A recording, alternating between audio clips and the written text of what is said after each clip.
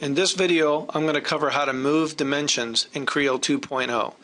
In Creo 1.0 and previous versions of Pro Engineer, whenever you clicked on a dimension, you would see drag boxes.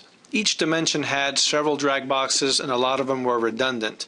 So what they did in Creo 2.0 is they simplified it and now what you see is the, uh, the cursor changes to a move cursor. It allows you to move the dimension by left clicking and dragging. This is also true for radius dimensions and any dimension.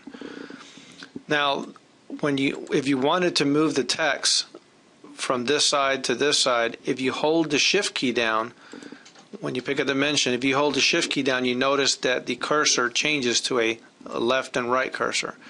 This allows you to move it to either side of the arrow. If you let go of shift, it turns back into a move cursor. When you're manipulating a standard dimension in this way, when you hold shift, it will allow you to move the text left or right. And another thing you'll notice that it does snap the text to the center automatically for you. If you hover over the dimension line, you can move the dimension up and down without moving the text. So again, if you left click, you can move the dimension in all directions, and if you hold shift, it's called the modifier. The modifier allows you to manipulate it in other ways. If you hover over the extension lines, you'll notice they turn black, and this allows you to move them around similar to how you did before.